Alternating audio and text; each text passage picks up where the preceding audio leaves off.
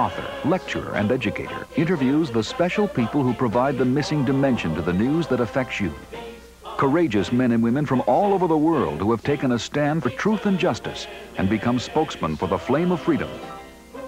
Listen now as Elizabeth Clare Prophet and her guest discuss critical issues of the day. This week, Mrs. Prophet talks with Jack Wheeler, adventurer, philosopher, journalist, authority on anti-communist third world guerrilla movements, and architect of the Jamba Conference.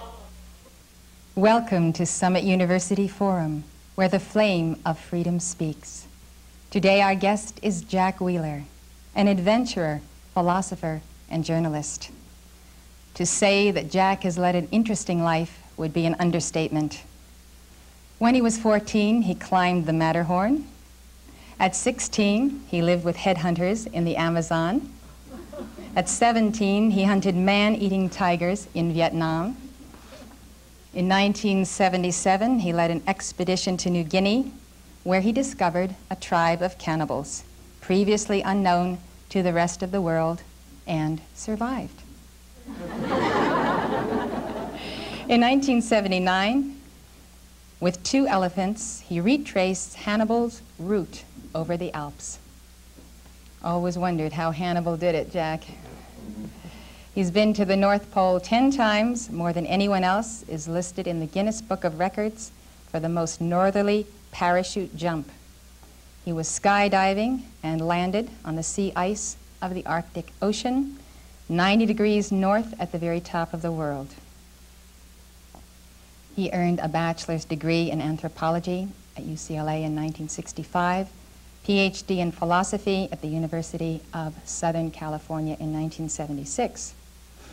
Drawing on his experiences in Outer Mongolia, Russian Central Asia, South Vietnam, the Sahara, the jungles of Africa and the Amazon, the remote islands of the South Pacific, he wrote The Adventurer's Guide in 1976.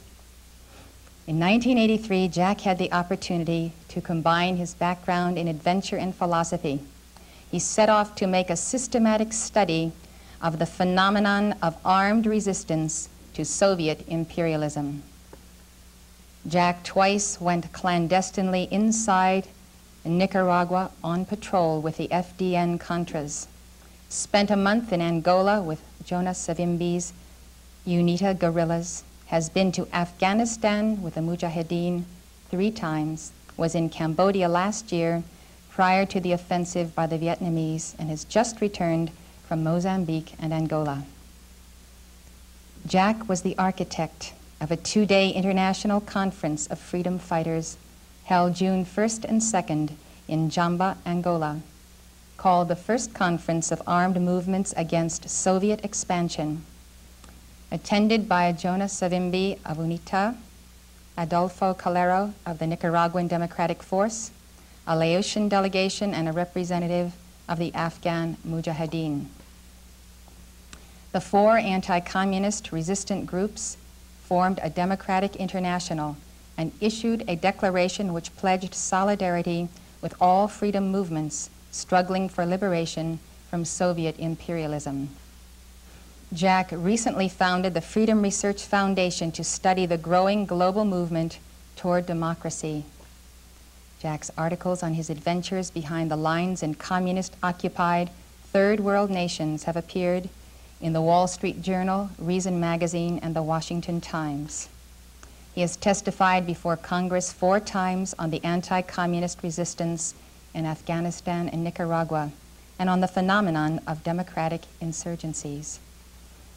It is easy to see why the Wall Street Journal called Jack an authority on anti-communist third world guerrilla movements. Jack Wheeler, God bless you and welcome to Summit University Forum. Thank you.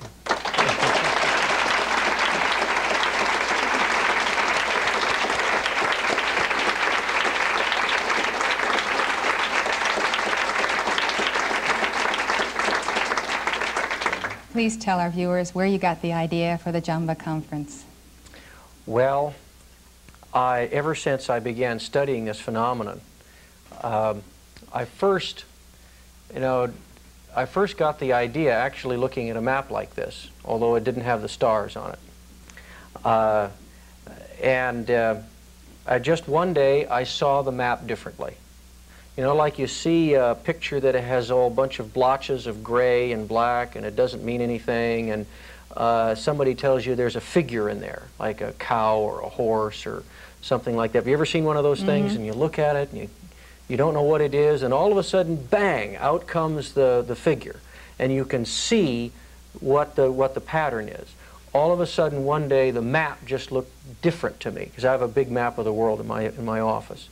And I saw that there were not just one or two, but there was a whole family of armed insurgencies that were fighting not for Marxism, but against Marxism.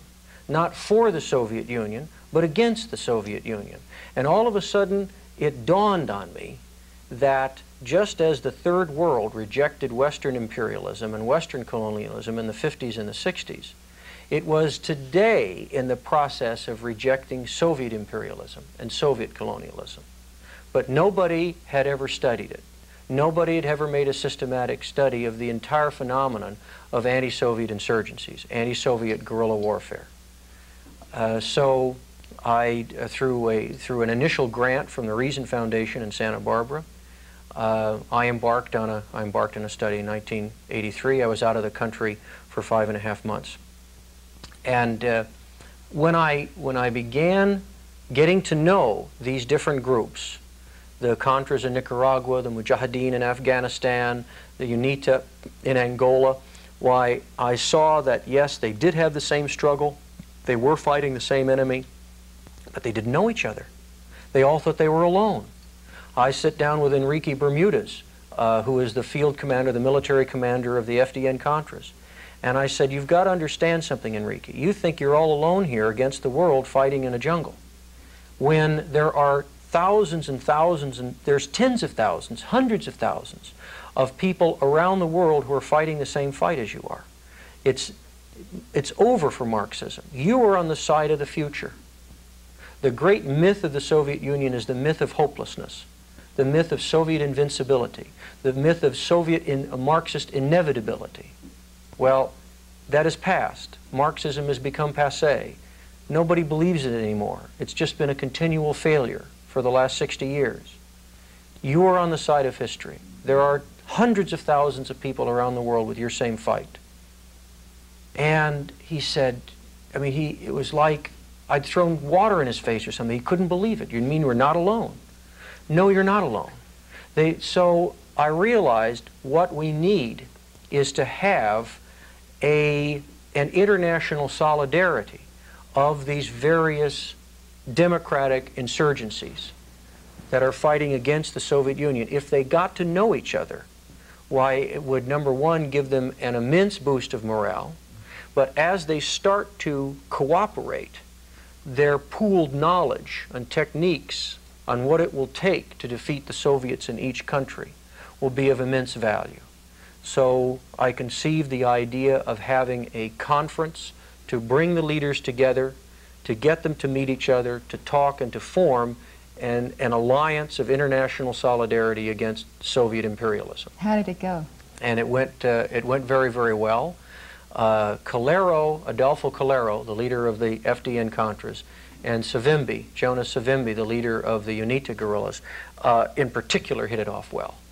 Um, because Savimbi uh, speaks Portuguese. Angola, right here, is a colony of Portugal. So the lingua franca, because uh, there's many tribes and they all speak different languages, the lingua franca for Angola is Portuguese. Portuguese is very similar to Spanish, so they could understand each other right away. And they just hit it off personally. And of course, there are 40,000 Cubans in Angola. That's what props the Angolan communist government up. And of course, Nicaragua today is in effect a Cuban colony where Cubans run everything, they run the administration, they, all the teachers are Cuban, etc. Nicaragua is a colony of Cuba. So they not only have the same enemy behind the scenes of the Soviet Union and Soviet Marxism, but the same Soviet proxy is, is also actually in the field running the show. So they got along particularly well. Uh, and then the Afghans and the Cambodians, and now we've got uh, uh, the movement in Mozambique, Renamo, that's where I just was two weeks ago. Uh, Renamo has now joined the Democratic International. That's the name of this new alliance. And uh, the Cambodians are joining. So, uh, and um, uh, I'll be meeting with some Ethiopians who, there's a number of movements now. It's a complicated situation in Ethiopia, which we'll talk about later. But I think we'll have all of these different movements now together, working with each other, cooperating with each other, uh, pooling their knowledge to better resist uh, Soviet imperialism in their own countries. This must be a great concern to the Soviet Union and of even greater concern to the Department of State. yes, uh, that's certainly true. Um, I've been called uh, by the Soviet press an ideological gangster for, uh, for all of this. That's a real accolade.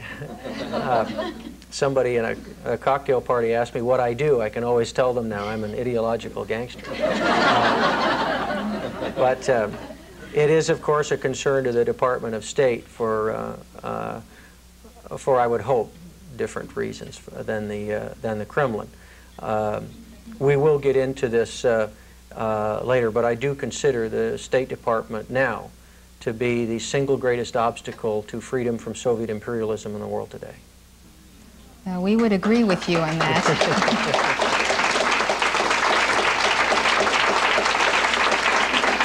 And uh, we also think it's important that the American people know precisely who is misrepresenting them at the Department of State. Uh, would you kindly tell us who are the key figures? The department itself is uh, not people. Who are the people? Uh, well, first you've got to understand that the federal bureaucracy is, has become almost impervious to whatever administration is in power that the administration, in other words, the president, the executive branch, can appoint only the very thin top layer, and the rest are all these civil servants that are civil servants and I'm impervious to being fired, uh, uh, etc. So it's, it's, a, it's a separate, independent branch of government. Um, the, in other words, uh, I can criticize very strongly George Shultz but Bill Casey is probably is another matter. Bill Casey's a very good guy. But all the people under him are all these Kennedy and Johnson and Carter liberal holdovers. And it's, it's, uh, it's a very, very bad situation in the CIA. And for the most With part, the, they cannot be removed, is that right? They have tenure? So the, the only way that you can do it is in form and not content. uh, with the State Department is like Henry Kissinger ran the State Department. He just bypassed the entire apparatus. George Shultz is not somebody who can do that. George Shultz is a labor negotiator. His, his whole thing is, what do you want? What do you want? Let's see how we can make a deal. That's not how you deal with the Soviet Union. Um, and uh, he has become completely co-opted by the Foreign Service establishment in the State Department. It's not that George Shultz is a bad man, but he just can't run the State Department. The State Department runs him. And so that's why he really should go if, we've gonna, if we're going to have an effective foreign policy that will adequately uh, defend the, the national security interests of the United States. Uh, we need somebody who would be capable of taking on the Foreign Service establishment, wouldn't be cowed and intimidated by it. Such a person would be Jeane Kirkpatrick. So.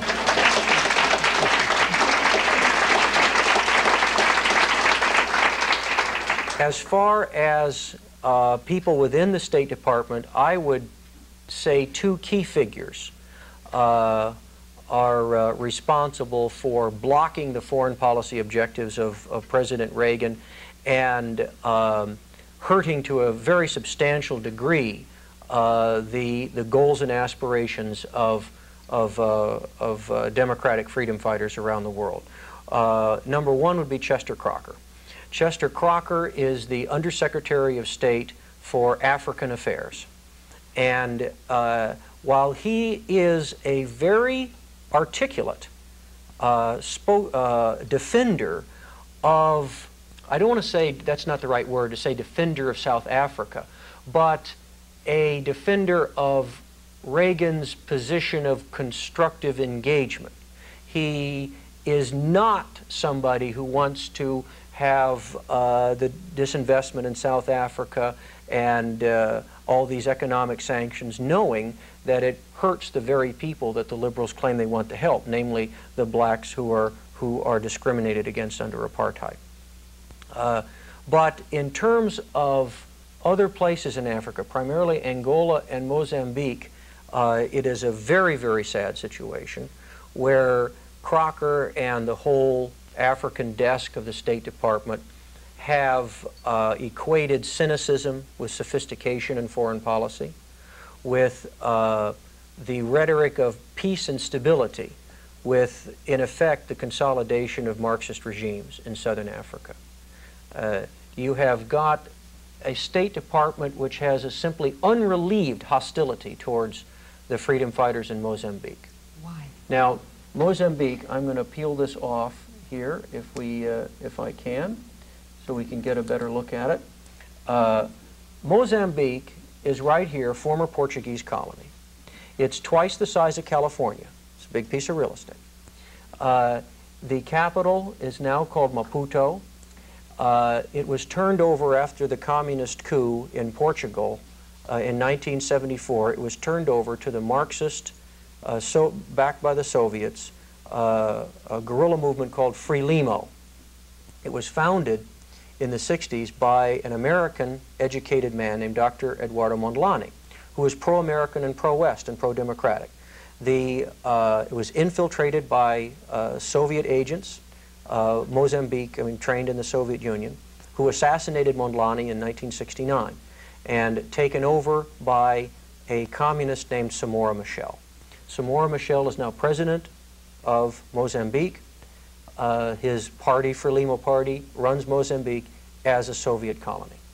Uh, oh, tens and tens of thousands of Mozambicans have died in concentration camps. He's instituted a very rigid totalitarian control. Uh, in 1978, a, an insurgency uh, that, when it was an anti-communist insurgency, got started, uh, formed by a man named Andre Matsangaisi and Afonso Dhlakama. Matsangaisi was killed uh, in 1978, but uh, Dhlakama is still the president of this movement called the Mozambique National Resistance, RENAMO. RENAMO now controls virtually the entire countryside of Mozambique. I was just there two weeks ago, walked a lot of miles. and uh, the, the insurgents operate in all 10 provinces. They control the entire countryside. The government only has control of the district capitals. Uh, so you've got a situation in which the momentum is clearly on the side of an insurgency whose stated public printed goals are democracy and capitalism. They want a pro-free market, pro-Western, pro-democratic government in Mozambique. They want to get, they, their demands are the end of Marxism-Leninism in Mozambique and the end of Soviet influence. They want all Soviets and Cubans and Libyans and PLO and East Germans, they want them all out and yet the State Department has simply an unrelieved hostility towards them. You can't even talk to them about Renamo. Uh, and why? There's been a lot of speculation. My own theory is, and Dhlakama's as well, is that the State Department sees a chance of getting Machel, Samora Machel, to come over into our camp, to say he'll be He'll be like a pro-Western dictator like Mobutu or like Marcos. Uh, just like we need another uh, two-bit dictator that's on our side that used to be a commie. I mean, this is a guy we really want as a friend and we can really trust. Uh, so uh, they have their own bureaucratic agenda. And it'll be a real feather in their bureaucratic cap to woo away a commie dictator into our camp. So they have, a, as a result, an unrelieved hostility towards Renamo when the clear momentum is with Renamo. The, I mean, if of all these different insurgencies, the one that is closest to victory is the one in Mozambique. Yet you never hear about it. Uh, nobody understands a thing about it. They're very close to victory. And what the State Department should be pressing for is not a is not a hostility towards Renamo, but the democratization of, of Mozambique. Because you cannot get peace and stability without a rapprochement, without an, a sharing of power and a democratic state of affairs in Mozambique. Uh, so the State Department is just part of the problem and not part of the solution in Mozambique. The same situation applies to Angola. Uh, Angola is twice the size of Texas. It's the government, the capital is Luanda. It is controlled by a communist guerrilla movement called the MPLA, which took over in 1975 through an invasion of Cuban troops backed and financed by the Soviet Union in, in Soviet planes and Soviet ships. Uh, the, a competing guerrilla movement uh, called UNITA, uh, led by Jonas Savimbi, was chased by the Cubans out into the bush and left for dead. And now uh, UNITA has built back up to a strength of 50,000 guerrillas. Savimbi and UNITA control one third of the country. I've traveled myself personally about 2,500 kilometers throughout this territory, completely controlled by UNITA. It's like a state within a state. They operate in 13 out of the 15 provinces in Angola. What the MPLA has, and the government of the, the communist dictator in Angola is uh, Jose Eduardo dos Santos. Uh, what dos Santos has that Machel does not have in Mozambique is 40,000 Cubans. Uh, and that prevents Savimbi from, from winning. If it weren't for those 40,000 Cubans, Savimbi would be in Luanda in a week. I mean, give him maybe, give him 10 days, and he just will march in. But those 40,000 Cubans prevent him from winning. Those 40,000 Cubans do not, why does Angola have 40,000 Cubans, and Mozambique, which is in worse shape, not have couple thousand? That's because Mozambique cannot pay for them. Cuba's main export in the world today are mercenary soldiers, and you have to pay. How does Angola, a broke Marxist government, pay for all these Cubans, which are very expensive? They cost between maybe 25 to $100 per day per Cuban. We're talking about hundreds and hundreds of millions of dollars a year that goes to Fidel Castro to pay for Cuban mercenaries who, where do they get that money?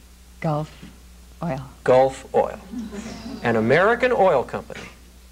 An American oil company pays, in effect, through a Swiss bank, Fidel Castro hundreds of millions of dollars a year for Cuban mercenaries to support a Soviet communist government against anti-Soviet, anti-communist, pro-Western democratic guerrillas.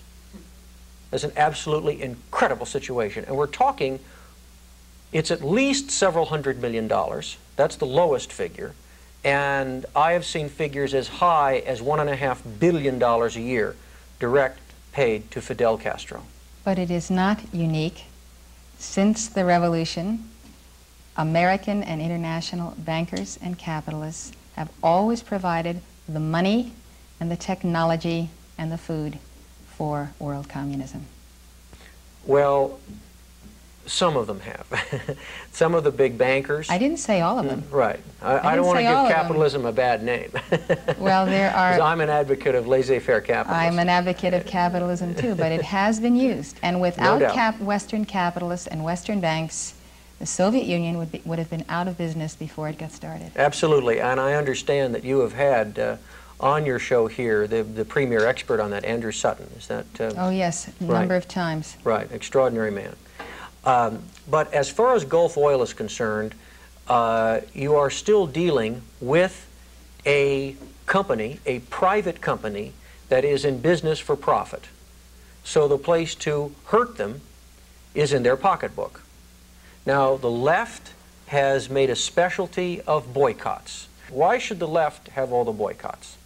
I would really like, I would really like to encourage your people and your listeners to form a boycott of Gulf oil in their community.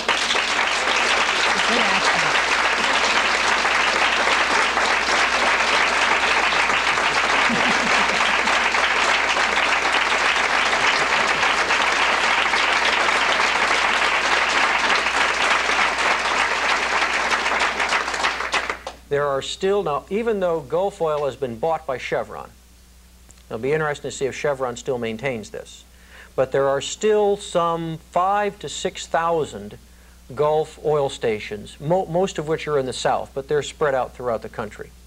Uh, they could boycott and picket these individual stations. Uh, they could cut their credit. If you have a Gulf Oil credit card, cut it in half and send it in to the, uh, to the headquarters saying, I'm not going to do business with you anymore. Uh, and the, why? The, Tell them the why. slogan is, and the reason to use is that every time you buy gas at a Gulf station, some of your money goes to Fidel Castro. That's the situation. Every time you buy gas at a Gulf station, some of your money is going to Fidel Castro. So doing business with Gulf is like doing business with and, and financially supporting uh, Fidel Castro. Uh, it's an unbelievably despicable situation. So that is one specific project that, uh, that we could really, really get going because without Gulf oil, well, and let me explain how that, how that works. Gulf has the primary concession with other countries, with other like Texaco, Mobil, Elf Aquitaine, uh, a few others, in this little enclave of Angola called Cabinda. Now the oil revenues, the concession and royalty revenues, uh, to the Angola government comprise 90% of their foreign exchange. They don't have anything else except oil. And of that, 80% of that comes from Gulf. That's the extent to which Gulf makes its, makes its contribution. So the other oil companies uh, play a very minor role. It is Gulf oil primarily. And it should be Angola right. oil. Right. It should be the People's Oil Company and their Fidel own country. Castro oil. But uh, so there's there's Gulf oil, and there is also the the lack of diplomatic support for Savimbi. Now, we just had a real coup uh, in the United States House of Representatives, in the Congress. They just passed a, a bill which repeals the Clark Amendment. Now, during the Civil War in Angola, uh, when the Portuguese government pulled out and they were going to turn over uh, the machinery of government to whatever guerrilla movement controlled the capital of Luanda, on the date was November 11th, 1975. So the Cubans just had this massive invasion and made sure that they had it. Um, during, right during the crux of that, when the Cubans had, had delivered this massive invasion and Savimbi was fighting for his life, right at that very key time in December of 1975, the Senate and the House passed a bill which made it illegal for the government to covertly give any aid to specifically anti-communist guerrilla movements in Angola. Do you know why? Do you know why they did that? There are a lot of arguments uh, why. It was right after the aftermath of Vietnam. Uh, 1975 was probably the worst year for freedom of modern times because in 75, uh, April 17th, the Khmer Rouge marched into Phnom Penh in Cambodia and started to slaughter, immediately started, to, started its slaughter of two to three million Cambodians. On April 30th, the North Vietnamese marched into Saigon, and Saigon fell, South Vietnam. On August 23rd, uh, the Pathet Lao, helped by the North Vietnamese, marched into Vientiane and took over Laos. Uh, I mean, it's a real bad year. Uh, Ethiopia was in the process of falling at that time. Uh, and then, and then, then comes Angola on that. And just the entire will, remember what it was like in 75. I mean, 75, 76, I mean, we elected Jimmy Carter, you know. I mean, the, the whole will of the country, it was a real bottom of the pit for America. Uh, and we just had no will, no will at all. And uh, we were demoralized by the betrayal yes, of our leaders who would not carry that war to the victory, who had the victory in their hands. So the Clark Amendment was passed, preventing any aid to Savimbi. Never another Vietnam. Right. That was it. Yeah, right. And Uh, now, the Senate and the House have voted to repeal the Clark Amendment. That's terrific. It is Really? very wonderful news. Did you lobby for that? And the, and the conference that we had played a very, I was told by the UNITA representative here in, in Washington, that, uh, that our Jamba conference and the Jamba proclamation and the showing of a, uh, of a unity of anti-Soviet insurgencies throughout the world played a very key role in persuading many, many congressmen uh, to vote for that to vote for that repeal. Not that Savimbi needs arms and equipment. There are other insurgencies that do. Savimbi is very well armed. What he needs is diplomatic support, which he is not getting from the State Department. What's his source of arms? His, sor- many of them are captured, but his source of arms is, a, um, is an ironic one, uh, a, little, uh, a little cosmic justice for once. Um, south, south of Angola is Namibia. Namibia was German Southwest Africa before World War I. After World War I, Britain, what does it do? Completely rips Germany off and takes every single colony they had. Just took it all, which was the start of World War II. Uh, but what this, what, this, what this resulted in is that the League of Nations gave a mandate to South Africa for Namibia. The United Nations comes along and says, you no longer have a mandate, it's ours now, or whatever. And South Africa says, who are you guys? You're not the League of Nations, get lost. So there's a real contention here with Namibia. Well, the Soviets start backing a guerrilla movement called SWAPO, Southwest Africa People's Organization, led by a man named Sam Nujoma, who was a friend of Savimbi's until he turned Soviet. Uh, at any rate, SWAPO uses southwestern Angola as a sanctuary. And the Soviets, because now Angola goes communist, starts massively arming SWAPO and has huge arms caches for SWAPO of Soviet weapons for their raids into Namibia. South Africa says, you guys have got to be kidding if you think we're going to let you use Angola as a sanctuary. So they started launching a series of, of raids, very serious, heavily armed raids, into southern Angola and captured all these SWAPO encampments and captured all these arm caches. So now the South Africans have got this massive supply of captured Soviet weaponry. And what did they do? They gave it to Jonas Savimbi.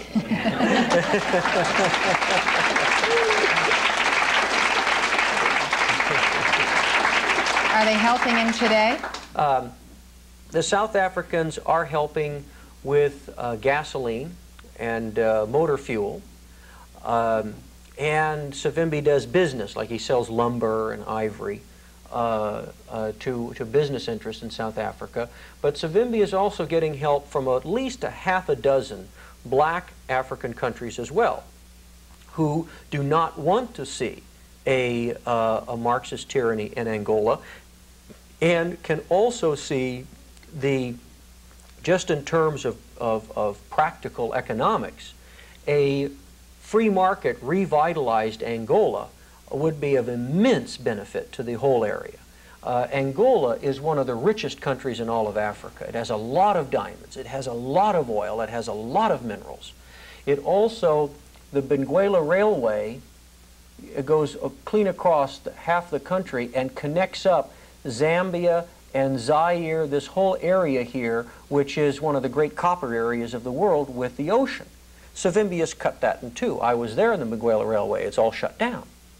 So until the Civil War is resolved and Angola goes, goes, goes free market and goes democratic, why, this is just going to be a drag, a tremendous, it's going to prevent the development of the entire area. So there are several black African countries which are helping which are helping Savimbi Yeah. and want to see him win. If South Africa really used its force, it, it could get rid of those Cubans overnight. Um, yes, but It's not going to do it, is it? yes, but Savimbi, just like everybody else, does not want other people, whether it's South Africans or whether it's Americans, to fight for him. None of these people, and it's very important to understand this, none of these people, not the Nicaraguans, not the Angolans, not the Afghans, want American troops. The big fear of Daniel Ortega, oh, they're the Americans, the Yankees are going to invade. It's not going to happen. Calero won't stand for it. The FDN won't stand for it. They don't want us or anybody else to fight for them. They want our support, materially, diplomatically, and morally. But they don't want our people to fight and die for them. So they don't want South Africa to come? No. They want Even to do if it they themselves. would just get them out and That's right. leave? They want to fight for their own freedom.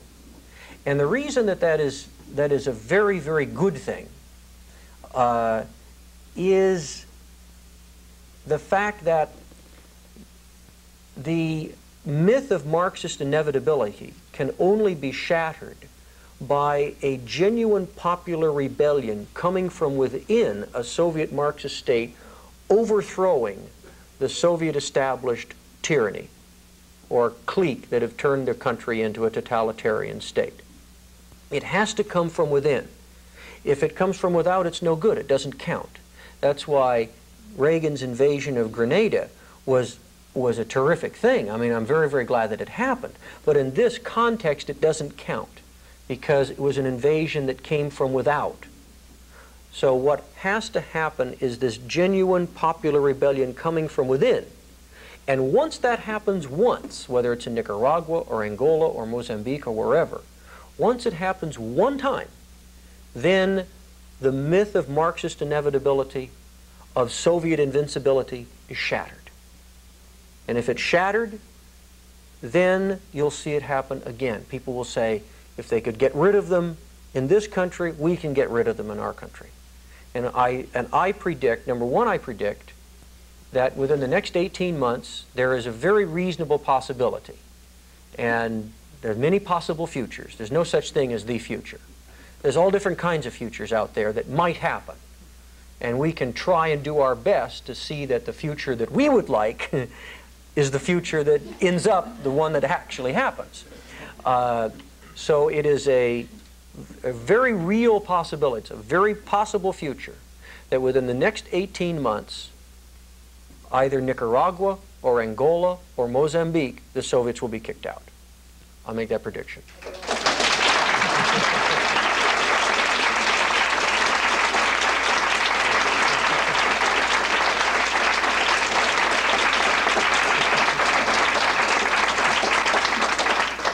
And number two, once it happens once, I predict an additional possible future is that there will start to be a falling of Soviet dominoes, a reverse domino effect.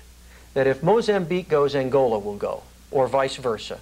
If one of them wins, the other is going to fall very quickly. Uh, and then that will be such a disaster, particularly Angola. Once Angola goes and the Cubans get, get all shipped home, it'll be such a disaster for Cuba.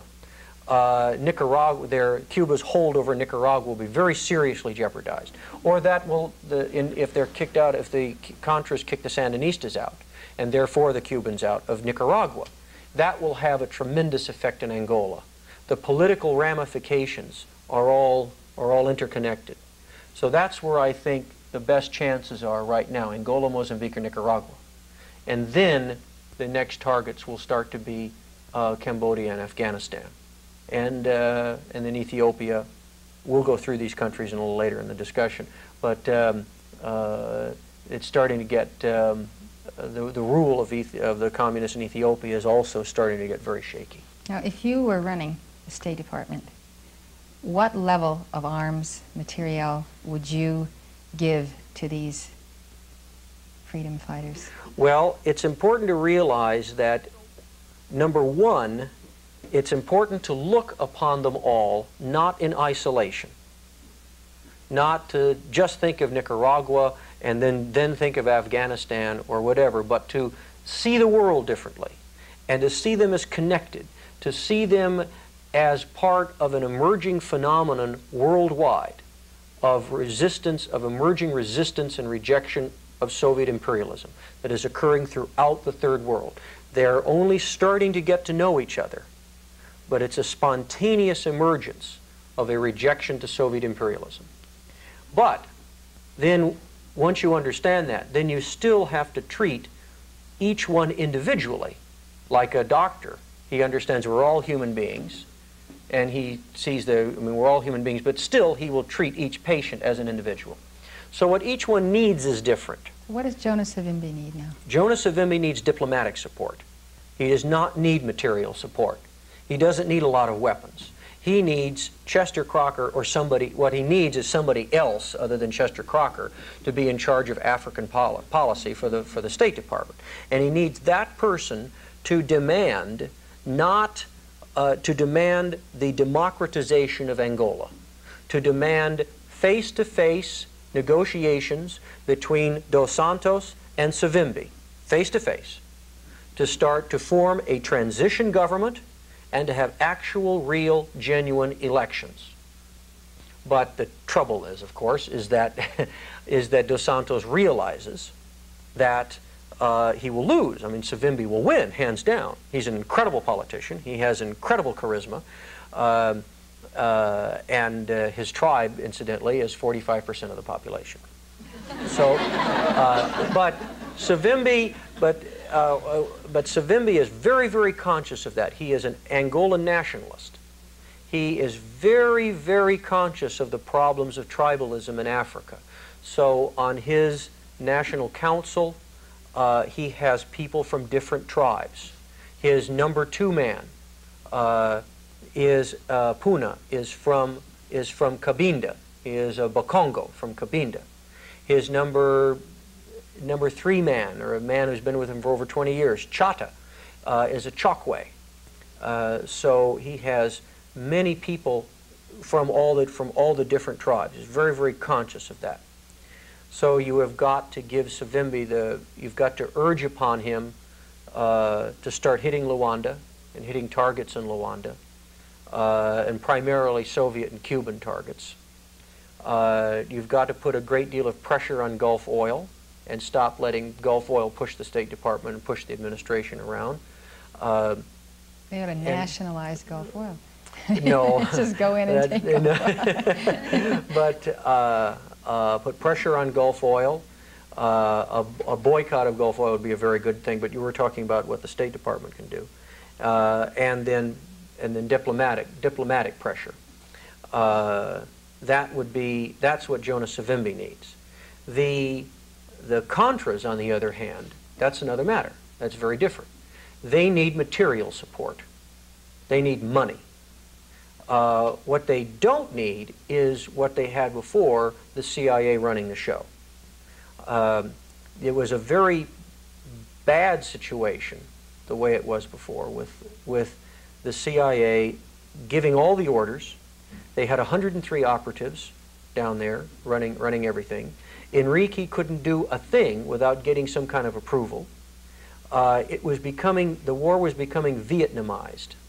And by that I mean, in Vietnam, every military decision became a political decision. The, the entire military operation in Vietnam was politicized. And that made the professional soldiers completely incapable of conducting and winning the war in Vietnam. That's what caused our downfall in Vietnam. And that, that same thing was beginning to happen with, with the Contras and still con until Congress cut off the funds. Then the Contras had to go out there and hustle up funds, and they got a lot of money, not enough, but they got a lot. And they didn't have to take any orders from the CIA anymore, and all of a sudden they were running the war much better. Because they know what to do. The CIA has no business running covert operations. The CIA should be gathering intelligence. But any covert or paramilitary operations, that should be a job for the professional soldiers. That should be a job for the Department of Defense. At any rate, what the Contras need now is money and materiel, humanitarian aid and weapons. The situation is becoming so desperate for the Sandinistas economically and politically.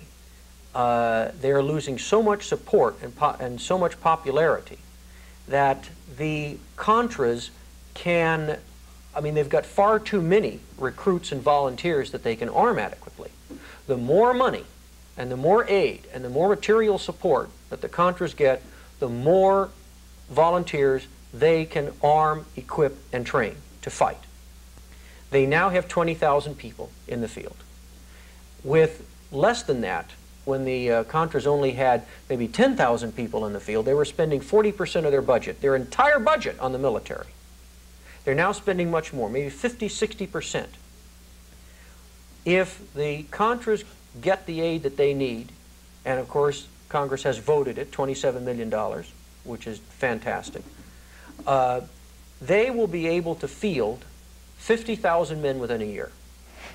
You're going to see a situation, if they get the support and the material support that they need, you'll see a situation where you have 30, 40, maybe 50,000 guerrillas in a small place. Nicaragua is a small country. And there is simply no way the Sandinistas can sustain that. If they're spending 60% of their budget right now to fight off 15, 20,000, what are they going to do with 30, 40, 50,000 guerrillas? Are you concerned about Soviet aid and armaments coming in at such a, a rate, the Hind helicopters? Um, not so much. You're not so concerned? No.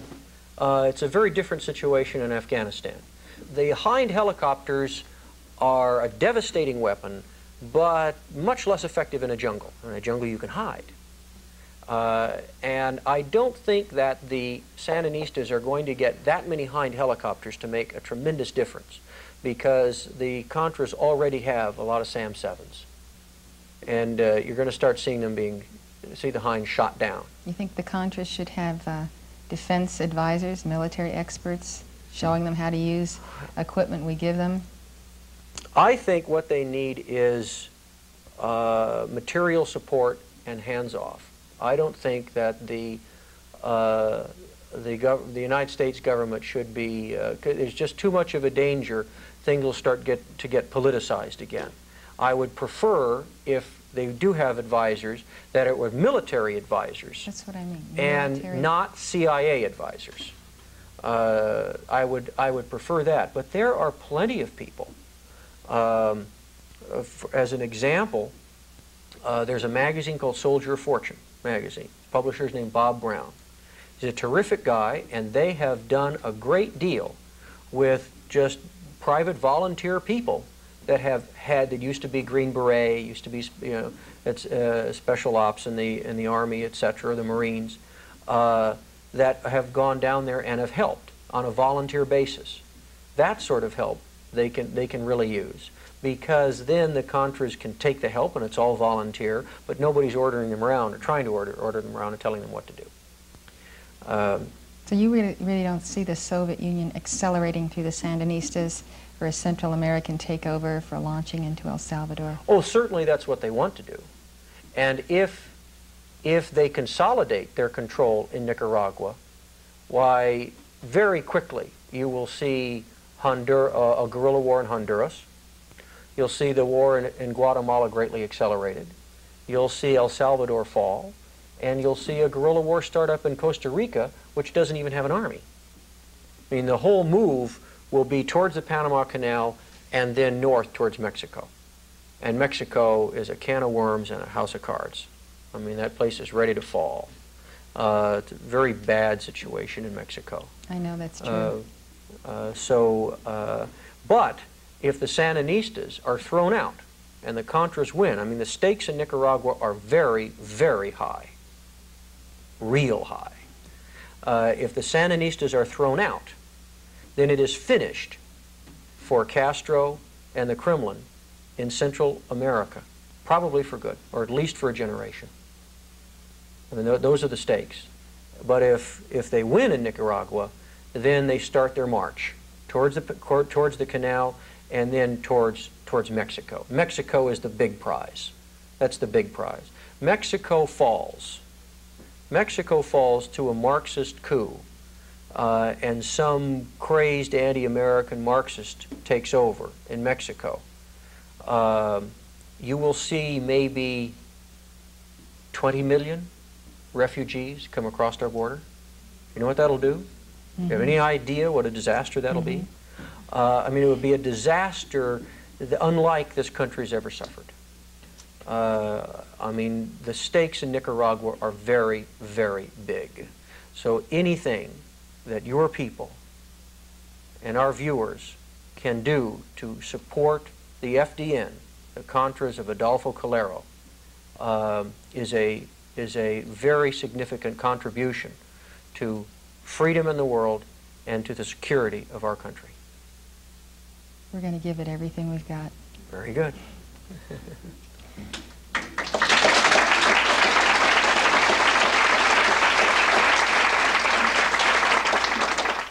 Might I also suggest, as long as we're talking about things that people can do, um, uh, I would like to put in a plug for what we are doing. Um, our foundation, uh, the Freedom Research Foundation, uh, is a 501c3 tax deductible foundation, so contributions to it are tax deductible. Uh, and we are, it is our business to research uh, this entire phenomenon, to make people aware of the situation, and to develop programs that can help in a humanitarian way the advent of democracy uh, throughout the world and in and particularly throughout the Soviet Empire. Um, and uh, we're in Malibu, California. The address is Post Office Box 4174, 4174, Malibu, California. The zip is 90265. Uh, it's the Freedom Research Foundation, and contributions are tax deductible. There you are, listeners. You can Right. write to Jack Wheeler and uh, really get the groundwork on what to do about the situation. Right. Getting back to Angola, uh, Mhm. you didn't seem too receptive to my idea of Jonas Savimbi taking over Gulf oil. I'm wondering why you don't think Taking over Gulf oil? Yeah, in, in his country. This is his land, his oil fields, his oil. Why, why should a, an international corporation that's working against him be allowed to stay there and therefore uh, pay all the Cubans? Well, when you, when you mean take it over, Nationalize uh, Gulf oil in, in Angola. well... Move in and a- seize it, a- whatever. A, na- nationalization is, is, a, is a socialist move. Uh, and, you know, as, a, as an advocate of a free market, I don't want to see a government controlling a Yeah, business. but the devil is Um, using the free market. Well, what you do is you give the concession to somebody else. you say, you guys are traitors, uh, uh, and you did everything you can to hurt us. We're not going to do business with you anymore. You are now out of Angola, and we now give the concession to the highest bidder, whether that's Elf Aquitaine or Shell or British Petroleum or whoever else wants it. You kick Gulf oil out of the country. You don't take it over because any nationalized uh, business, number one, increases the power of the state, and number two, doesn't work. I mean, any, any country that's gone socialist has figured that out. Uh, I do think that they should start guerrilla actions in Cabinda. Uh, they should start uh, destroying uh, the Gulf facilities in, a, in Cabinda. The trouble with that is, is it's very, very difficult. Uh, I mean, Savimbi is way down here. Uh, you're talking you're talking about a place that's thousands of miles away and is separated from the rest of Angola by the mouth of the Congo River, which is part of Zaire, the former Belgian Congo. I mean, it's physically separate. It's what they call an enclave. Uh, so it's very hard to physically get guys into Cabinda. Secondly, it is extremely well protected. There are thousands of Russians and Cubans and East Germans there. Pr- Protecting, protecting Gulf it, yes. oil. Militarily protecting Gulf oil. Great. That's right. So it, it's, fi- it, it's militarily a very difficult target. Uh, and they've got anti-aircraft batteries, thousands of soldiers. Uh, I mean, it's very, very well protected. So it's difficult to do militarily. But I still think he should make a concerted effort uh, to, uh, to hit it. And uh, hopefully they will, uh, they will do so. So, out of this conference has come an awareness of unity, Mm-hmm. moral support, and uh, hopefully world recognition. All these representatives of the uh, media, how did they treat it? They came, how did they report it? Um, well, uh, what can you say about the media? uh, uh, you know, they um, uh, they did report it. Um, it did receive a lot. It did receive a lot of coverage, uh, but uh, uh, we'll have to see uh, what uh, what happens next. And uh, what happens next is um, we will will have virtually all these anti-Soviet insurgencies part uh, uh, of this new alliance uh, that will be able to much more effectively lobby and they'll be able to lobby in concert with each other in Washington, the administration and state and Congress, etc., for, for what we'd like to see is, number one, a perspective, the perspective that I talked about, that, that you're seeing, that not to treat, treat them piecemeal, but to, but to treat them as a, as, a, as, a, as a connected geopolitical phenomenon. And number two, to have a policy of support that is across the board, not simply this is our policy in Nicaragua and this is it in Afghanistan and this is it in Cambodia, but a policy of official, across-the-board support for the entire phenomenon of anti-Soviet insurgencies. That's what we'd like to see.